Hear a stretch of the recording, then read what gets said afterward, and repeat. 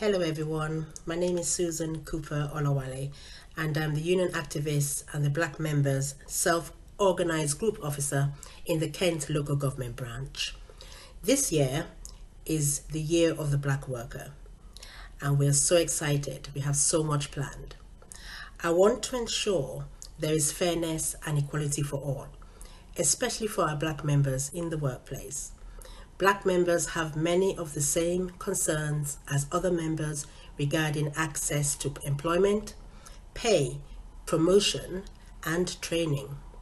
However, racist discrimination can deepen the impact of problems faced in the workplace.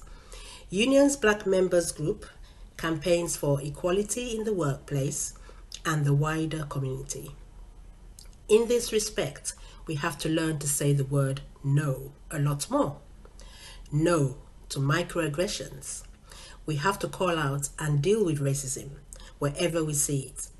We have to say no to bullying, undermining tactics. We have to say no to being barely tolerated. No to being spoken down to or ignored.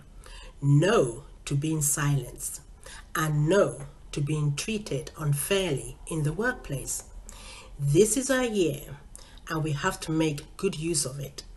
I just want to say thank you to all our allies who have been supportive in ensuring we reach these goals and to Unison for taking this brave step in making this the year of the black worker.